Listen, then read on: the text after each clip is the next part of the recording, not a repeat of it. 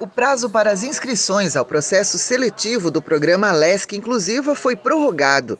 Agora será possível participar da seleção até o dia 12 de novembro.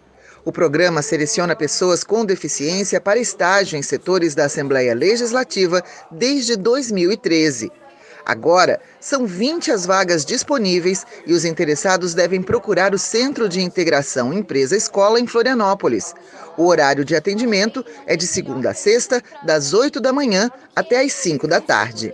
Para disputar uma das vagas disponíveis, o candidato tem que comprovar por laudo médico sua deficiência e estar matriculado no ensino regular médio, técnico ou superior.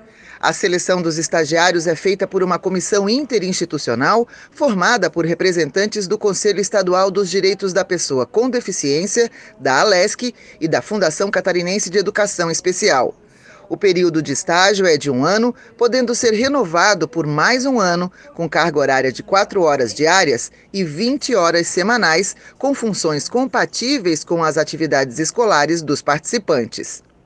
A remuneração para quem tem nível superior é de 950 reais de auxílio bolsa, além de 150 reais de auxílio transporte e R$ 600 auxílio alimentação.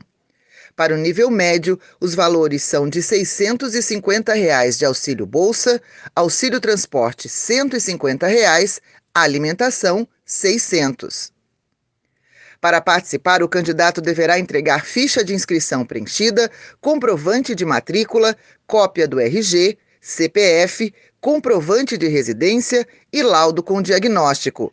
A lista com o nome dos aprovados será divulgada no site do CIE.